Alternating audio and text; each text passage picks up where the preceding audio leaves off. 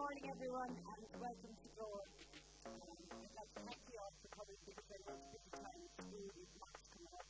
But I really think and hope that this is going to bring benefit to you. the presentations were called It's Your Choice.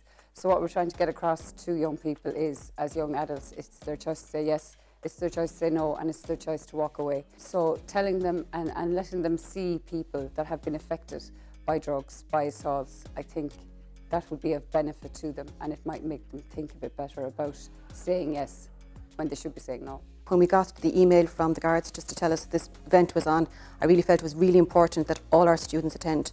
They're sick of listening to us going on and on about, you know, drug awareness. Um, we have various speakers in, we have a lot of drug programs, but we're still their teachers. They don't believe us sometimes. I think when they hear it literally from the horse's mouth, when they hear the problems that other people have and have come through and have come out the other side as well, I think asking for help is a huge part of it. Um, not to think that you're on your own, to go to friends, go to adults, and just whatever the situation is, that there is help out there and you can survive it.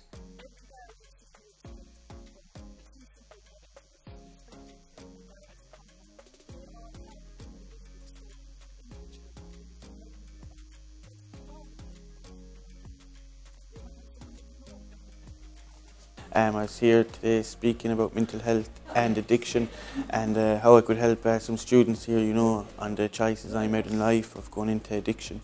And I was never happy inside, as I said, I always had mental health problems, but I never spoke about it, you know. So I tried to find addiction as my, um, as my happiness, you know what I mean, with gambling and drugs. So I suppose for them I always talk and hopefully one of the students here today could uh, take something from it to make the right choice, not like me taking the wrong one.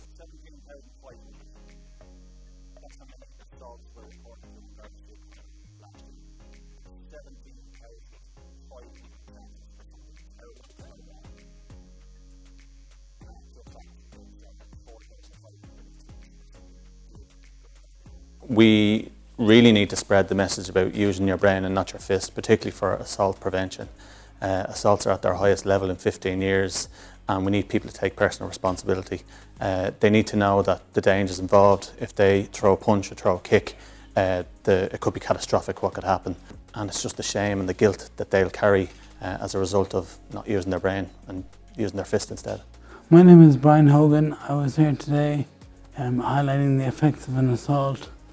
Um, I was a victim of an assault 10 years ago. And you know, I like to um, raise awareness around assaults and, and brain injury in the hope that it'll help somebody else avoid the same, same outcome that, that I befell.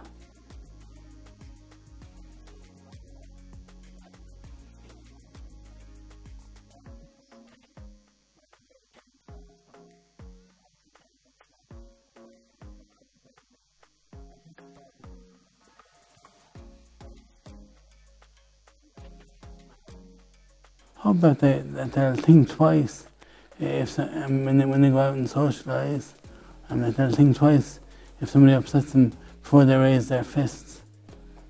I mean, solving any any there's no, no issues have been solved by through violence.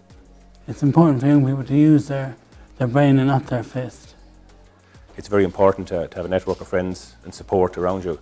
But most importantly, that if something does happen, or if they're if they're if they are concerned or they're in trouble, there's a network of people they can contact from ourselves, you know, to the Samaritans, to the HSE, to their own teachers, as well as their parents. listening to um, Brian Hogan, it was just the seeing how a split second like that his life has changed. Um, it just put everything what we're hearing in class and in school and from home and to society itself into perspective and just just kind of puts it into reality and it was extremely moving and yeah, it was just something that I'll remember forever. Patrick O'Connor's talk. It was scary. And it showed us how easy we can fall into the trap of drugs and drink and addiction. I feel like everyone in that room, it was dead silent in there.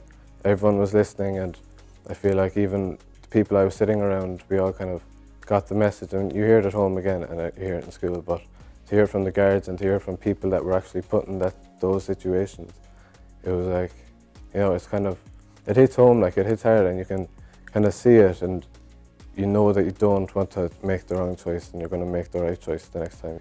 It's your choice.